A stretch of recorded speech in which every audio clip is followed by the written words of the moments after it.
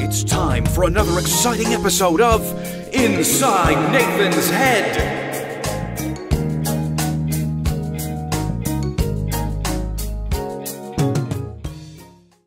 Julius, may I ask where you're going with that bag of lettuce? Yes, I am going to the grocery store with Miss Margie, and she said we gotta get the green stuff out so we can go grocery shopping and get lots of food and stuff like that, so we need the green stuff for it. Julius, she meant cash. Dollar bills. Money. Oh! So she didn't mean this, uh, this lettuce in this bag right here? Because it wouldn't fit my wallet, because, well, lettuce is kind of funny shaped, so it doesn't fit in the wallet. No, she did not mean lettuce.